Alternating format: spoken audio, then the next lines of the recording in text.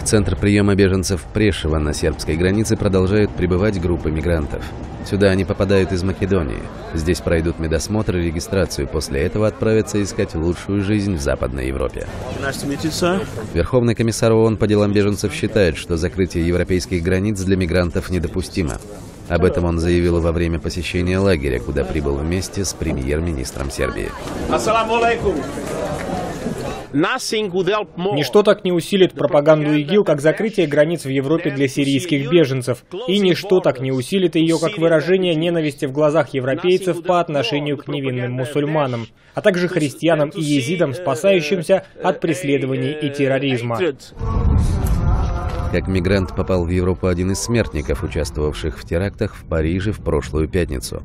Он прибыл под видом беженца из сирийского города Идлиба прошел регистрацию на греческом острове Лерос, а затем 7 октября здесь, в Прешево. Террориста сфотографировали, сняли отпечатки пальцев, но ничего подозрительного не выявили. Он также предъявил сирийский паспорт, в подлинности которого теперь сомневается полиция. Затем смертник свободно продолжил свой путь на запад. После всех этих событий отношение к мигрантам в Европе может кардинально измениться. Польша уже отказалась принимать их без гарантий безопасности. Премьер-министр Сербии говорит, что после терактов в Париже мигрантов будут проверять в центрах регистрации еще тщательнее.